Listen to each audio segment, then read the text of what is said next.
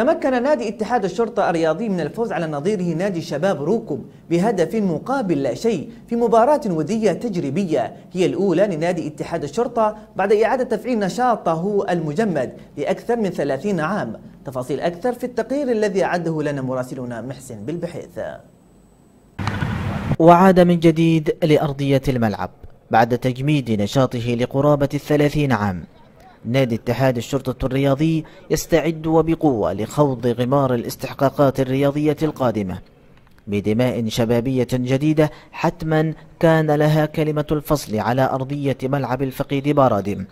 وذلك بفوزه على شباب روكوب بهدف مقابل لا شيء في المباراة الودية التجريبية التي جمعتهما عصر الأحد في المكلا. عن اليوم يعتبر عرس رياضي لنادي اتحاد الشرطة بعد فترة طويلة من التوقف والآن إعادة تفعيل هذا النادي العريق.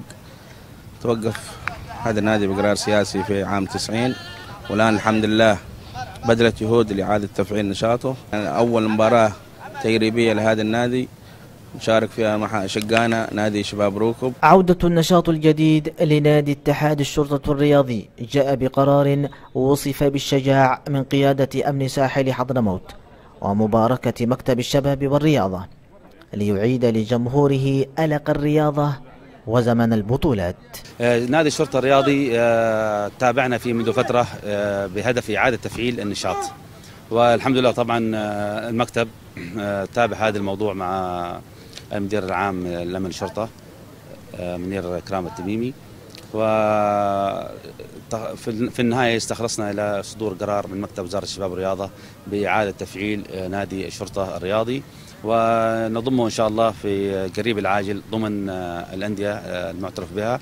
وسيخوض في يناير القادم بطولة كاس حضرموت مثله مثل جميع الأندية. بدايات جيدة لنادي اتحاد الشرطة الرياضي.